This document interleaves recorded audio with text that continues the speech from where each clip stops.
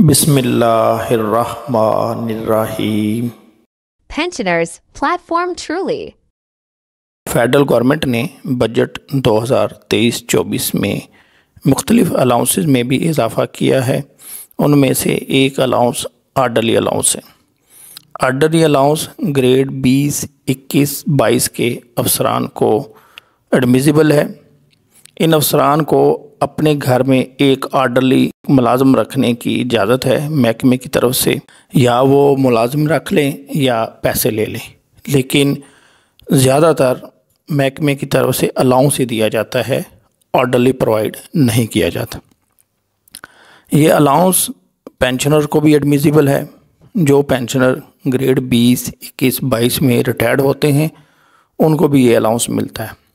जैसे ही serving officer का अलाउंस चेंज होता है पेंशनर का अलाउंस भी चेंज हो जाता है।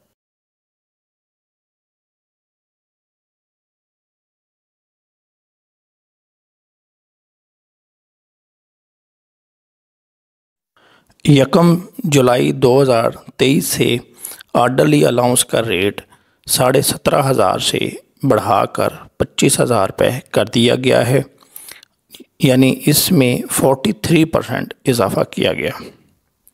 ये अलाउंस पिछले 10 सालों में पाँच दफ़ा रिवाइज़ हो चुका है।